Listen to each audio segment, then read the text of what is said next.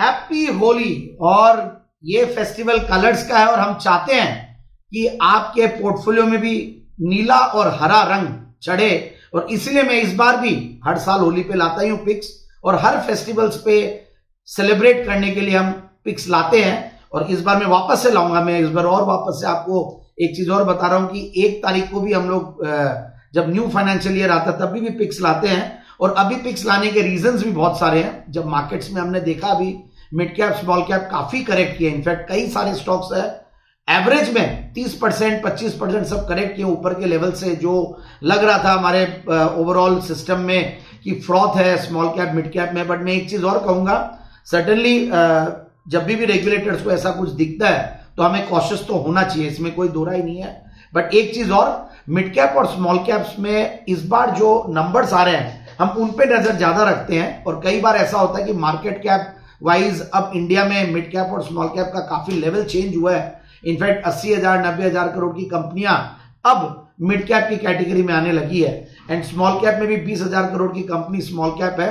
So overall mid cap small cap large cap सभी पे ही फोकस रखें पोर्टफोलियो बनाते टाइम पे. बट मैं आज वापस से कुछ मिड कैप स्टॉक्स और स्मॉल कैप स्टॉक्स आपके पास लेके आया हूँ. और पहला स्टॉक है केना मेटल इंडिया एक MNC company in fact US की केना मेटल इनकॉर्पोरेटेड की 75 परसेंट सब्सिडियरी एक बेहतरीन कंपनी जो बेसिकली कार्बाइड टूल्स बनाती है और स्पेशल पर्पज मशीन्स बनाती है।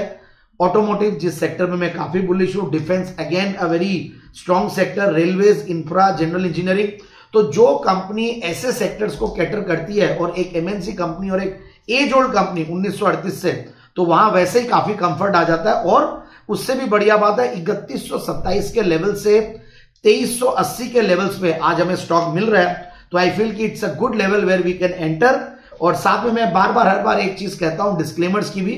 आप अपनी भी रिसर्च ज़रूर से करें और ये सारे स्टॉक्स जो हम डिस्कस कर रहे हैं, वो इनफैक्ट हम हमारे क्लाइंट्स को भी आगे पीछे बताए हैं। और प्लस हम टीवी पे भी रिकमेंड करते हुए आए हैं। सो आप अपनी रिसर्च ज़रूर से करें स्वयं। और दूसरा स्टॉक अब पहला मैं एक बार इसका टारगेट देता हूँ।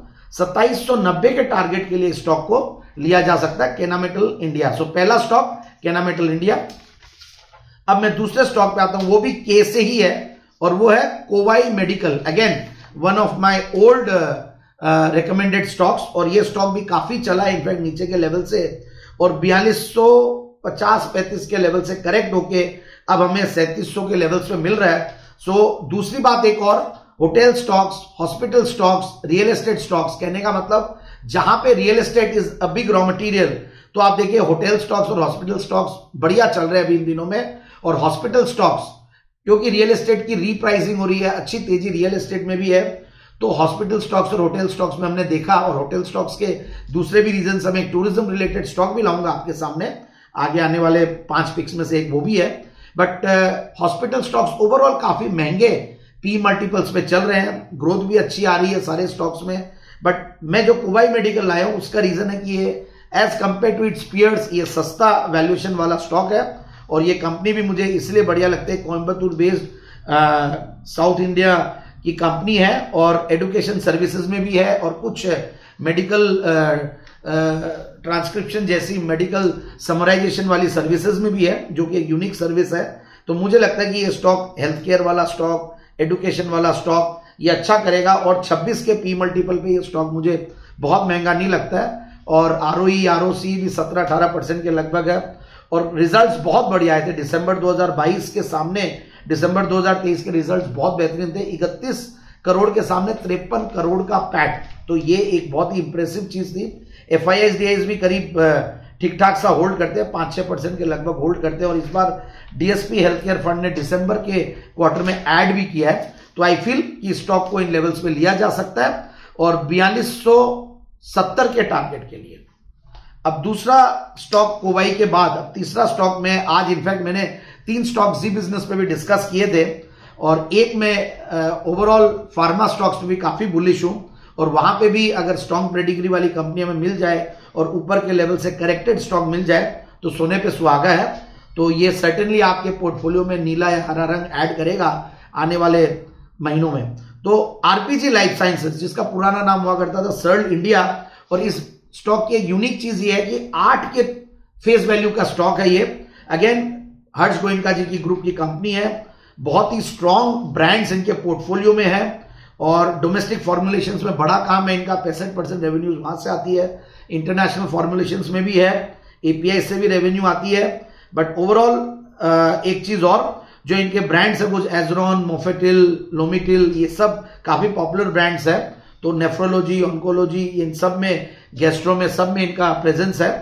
अब बत्तीस तैतीस परसेंट की रिटर्न ऑन कैपिटल एम्प्लॉयड पच्चीस परसेंट की रिटर्न ऑन इक्विटी सत्ताईस अट्ठाईस परसेंट की ग्रोथ की क्या अगर पिछले तीन साल की प्रोमोटर्स की स्ट्रॉन्ग शेयर होल्डिंग एक zero debt company needless to say that but एक और बढ़िया बात प्रमोटर्स की शेयर होल्डिंग के बाद एफ़ आई डी आई का भी पूरा भरोसा है और रिनाउंड शेयर होल्डर्स कुछ पब्लिक शेयर होल्डिंग में दिखते हैं तो उससे भी कॉन्फिडेंस आता है। तो RPG life science was the third stock चौथा स्टॉक है फीएम इंडस्ट्रीज़ अगेन काफ़ी बार मैंने स्टॉक को जैन साहब के जेम्स में भी कवर किया है। मैंने कई बार यूट्यूब चैनल पे भी स्टॉक को रेकमेंड किया है।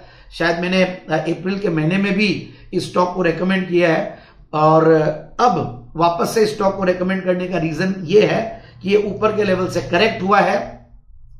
फीएम इंडस्ट्रीज़ मुझे वैल्यूएशन के लिहाज से बहुत बढ़िया लगता है। फंडामेंटल्स के लिहाज से बहुत बढ़िया लगता है। पेडिग्री वाइज बहुत बढ़िया लगता है। आप देखिए ऑटोमोटिव और ऑटो इंसिलरी स्टॉक्स बढ़िया कर ही रहे तो ऑटो इंसिलरी स्टॉक्स में ऑटोमोटिव लाइटिंग और सिग्नलिंग इक्विपमेंट्स बनाने वाली रियर व्यू बनाने वाली टू व्हीलर्स और फोर व्हीलर्स के लिए कंपनी काम करती है। और अच्छा खासा इनका मार्केट शेयर है सत्ताईस अट्ठाईस परसेंट का मार्केट शेयर इनका इनफैक्ट uh, होल्ड करते हैं टू व्हीलर हेडलैम्प मार्केट्स में। और अच्छा खासा ये इंक्रीज भी कर रहा है। सो so, 18 के पी मल्टीपल पे स्टॉक सस्ता है। 27 परसेंट का return on capital employed return on equity 20 percent डेढ़ परसेंट का डिविडेंड यील्ड 23 परसेंट की प्रॉफिट की क्या अगर एक zero debt company almost negligible debts Piotroski score is very good. In fact quarterly results भी बढ़िया आ ही रहे हैं कंपनी के 32 करोड़ के पैट के सामने 40 करोड़ का पैट था दिसंबर क्वार्टर की मैं बात कर रहा हूँ। और प्रोमोटर्स की स्ट्रॉन्ग शेयर होल्डिंग के बाद एफ़ आई भी ठीक ठाक होल्ड करते हैं कंपनी में। तो करीब तीन चार परसेंट एफ़ आई ने बढ़ाया भी है। तो मुझे लगता है कि ये स्टॉक पे बिल्कुल ध्यान देना चाहिए। और ये स्टॉक को भी आप 1300 के टारगेट के लिए खरीद सकते हैं। And last but not the least एक है stock ITDC Indian tourism development corporation जो कि टूरिज़्म रिलेटेड स्टॉक है होटल रिलेटेड स्टॉक है, मैंने बोला ही था कि एक स्टॉक वो भी आएगा। तो टीटीएम बेसिस पे ये स्टॉक ने हाईएस्ट एवर टॉप लाइन और बॉटम लाइन दी है। बहुत ज़्यादा प्रॉफिट्स नहीं कमाती। अगर आप पी मल्टीपल को देखेंगे तो आपको महँगा लगेगा। बट ओवरऑल मार्केट कैप को देखेंगे तो महँगा नहीं है। सबसे बढ़िया बात इस स्टॉक की में जो लगती है, वो है कि इस, एक तो गवर्नमेंट की कंपनी है पीएसयू कंपनी है, आठ परसेंट मतलब सत्यासी परसेंट गवर्नमेंट होल्ड करती है, आठ परसेंट टाटा ग्रुप की इंडियन होटल्स होल्ड करती है और पब्लिक में तीन चार परसेंट के लगभग शेयर होल्डिंग है। होटल अशोका, जो हमने दिल्ली में देखा है, वो प्रॉपर्टी ये कंपनी ओन करती है। ट्रैवल्स एंड टूर्स में भी है इवेंट मैनेजमेंट से भी कुछ रेवेन्यूज आती है।